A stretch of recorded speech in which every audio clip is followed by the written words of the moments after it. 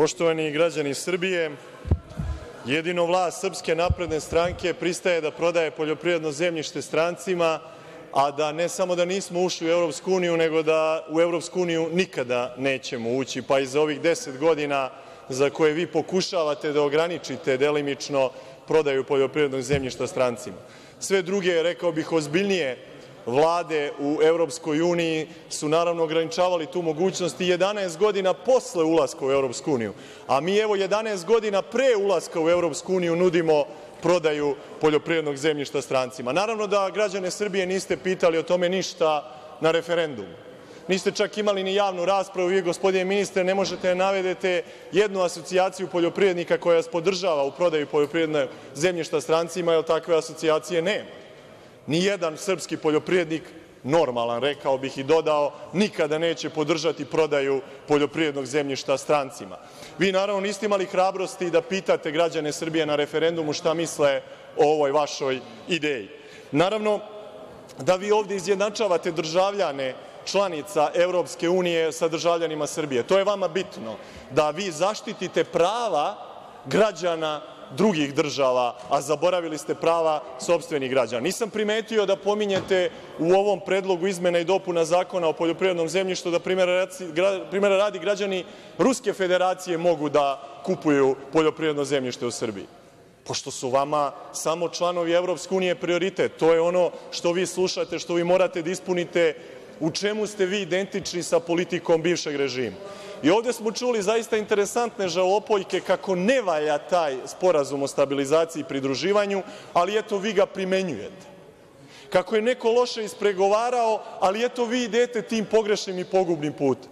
Pa gde su ti hrabri naprednjaci, ti veliki zaštitnici Srbije, te velike patriote, gde je taj najveći od svih sinova naših naroda i narodnosti Aleksandar Vučić da lupi šakom od sto i da kaže nećemo više tim pogubnim putom u Srbiju, nećemo ti više tim pogubnim putem u Kolega Obradović, svaku ja vas molim da počnete da pričate konačno o amandmanu. Evo, dva minuta sam vas pustio da pričate šta god hoćete. Šta vam padne na pamet? Mada je to teško. Veliko hvala, gospodine predsedavajući, na vašoj sugestiji.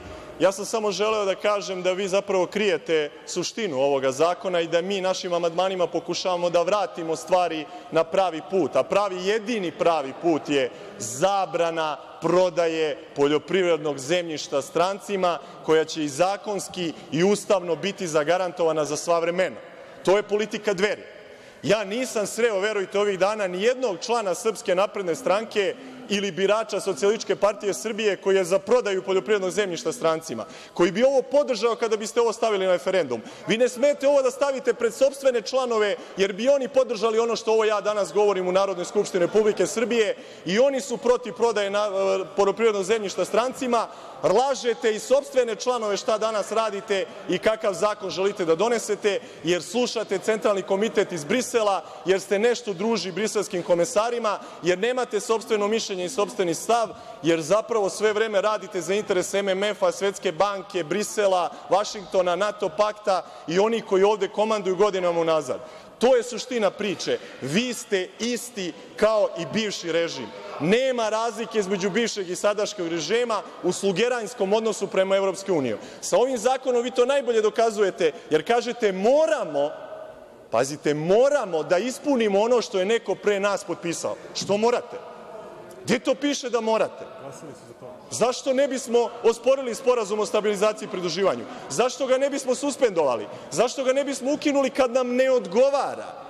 Pa profesor iz vaših redova je lepo rekao da je protiv Evropske unije, samo ne može da objasni zašto onda glasa za zakone u korist Evropske unije. Pa iz vaših redova ljudi Kolega su protiv Obradović, ja vas molim da govorite o amandmanu.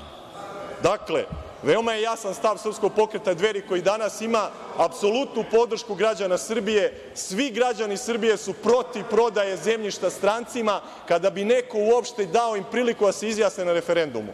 Zato vi zabranjujete referendum, jer znate da biste na tom referendumu izgubili. I kada biste pitali po pitanju ulaska Srbije u uniju, i kada biste pitali o briselskim sporazumima, i kada biste pitali o gej paradama, i kada biste pitali o prodaji poljoprivrednog zemljišta strancima, na svakom od tih referenduma vi biste izgubili i zato ne smete da izađete na referendum, nego ovako zamajavate javnost kao vi nešto štitite, a zapravo ste najobičnije sluge Brisela i Evropske unije. Zato ste isti sa politikom Demokratske stranke. Ne smete da skrenete sa tog puta.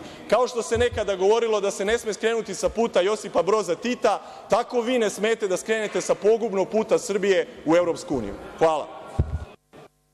Gospodine Obradoviću, ja sam vas pustio da se ne biste predstavljali kao žrtva vladajućeg režima. I to što mi dobacujete da sam srce samo govori da možda imate i neke druge evropske vrednosti. Ali vam skrećem pažnju da ako još neki put nekog ovde nazovete lažovom, dobićete opomenu. Imate pravo da koristite sinonime i tako dalje, ali nemate pravo da vređate poslanike i ministre. Pa rekli ste da neko ovde laže. Reč ima